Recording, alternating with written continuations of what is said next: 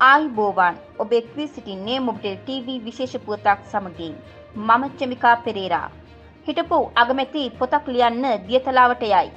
එජාප නායක රනිල් වික්‍රමසිංහ මහතා මේ වන විට ඔහු විසින් ආරම්භ කර ඇති ග්‍රන්ථය ලිවීමේ වැඩකටයුතු වලට වැඩි ඉඩකඩක් වෙන් කර ඇති බව මව්බිම පුවත්පත වාර්තා කර සිටිනවා. මෙම ග්‍රන්ථය සඳහා අවශ්‍ය තොරතුරු ලබා ගැනීමට ඔහු පසුගිය සති කිහිපය තුළ කාලය වෙන් කර තිබූ අතර එය රචනා කිරීමේ කටයුතු මේ වන විට ආරම්භ කර ඇතැයි දැනගන්නට ලැබේ. ග්‍රන්ථ රචනය සඳහා ඔහු වැඩි වශයෙන්ම දියතලාවේ පිහිටි සිය නිවස යොදාගෙන ඇත්තේ එහි ඇති නිස්කලංක වටපිටාව නිසා බව ඔහුගේ සමීපතයෙක් පවසා ඇත්තේ.